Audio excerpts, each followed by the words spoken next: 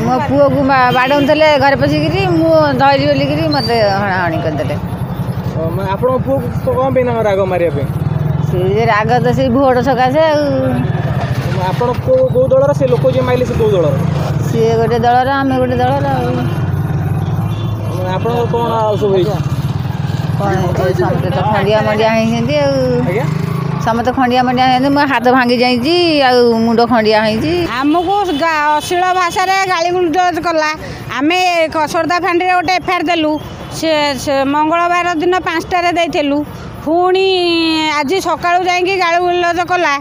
ସେଇଠୁ ଆମେ ପୁଣି ବାରଟା ବେଳେ ଗୋଟେ ଏଫଆଇଆର ଦେଲୁ। ସେଇଠୁ ପୁଣି ଯାଇ ଘରକୁ ଗଲା ବେଳକୁ ଘରକୁ ଯାଇକି ଖାଇକି ଶୋଇଛୁ ସିଏ ଆମକୁ ନେଇକି ଡାକିକି ଅଶ୍ଳୀଳ ଭାଷାରେ ଆମେ ଆସିବାରୁ ଆମକୁ ଗୁଣ୍ଡା ନଗେଇକି ମରାକ୍ତ ଆକ୍ରମଣ କରିଛି।